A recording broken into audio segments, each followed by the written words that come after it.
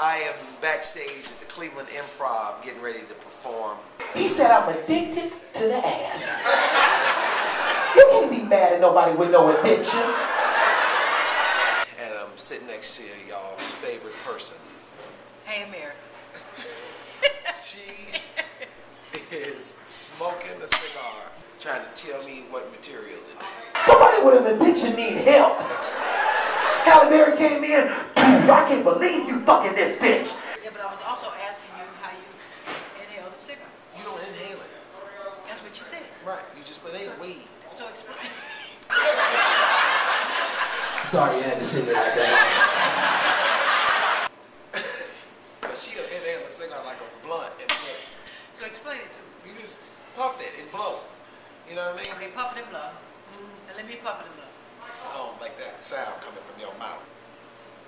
Yeah, that's, I guess that's right. This is red meat bedtime story. and now we out here, she out here swilling on Long Island iced teas and sucking on cigars with me before I go on stage. This is why I do what I do. He was like, do you think I wanna fuck her? I have to.